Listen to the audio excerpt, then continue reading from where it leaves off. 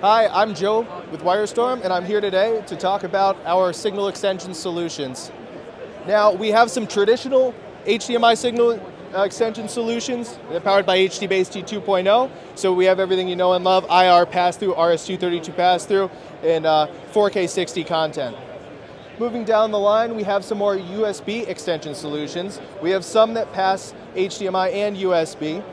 Uh, this is a unicast solution uh, over a one gig network, plug and play, the EX100 KVM IP.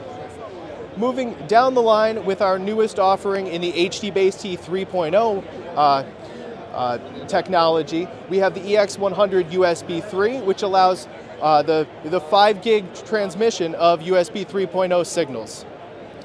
We're going to be releasing a USB-C wall plate for that unit as well, so we can, instead of using a USB Type-B port, uh, you can do so with your USB-C host.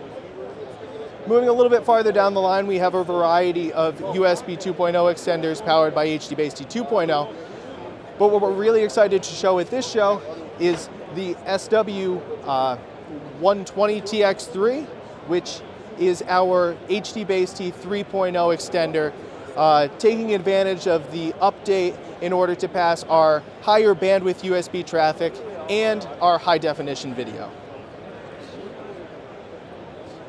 We're WyreStorm Technologies and we're at InfoComm 2024. Our website's wyrestorm.com.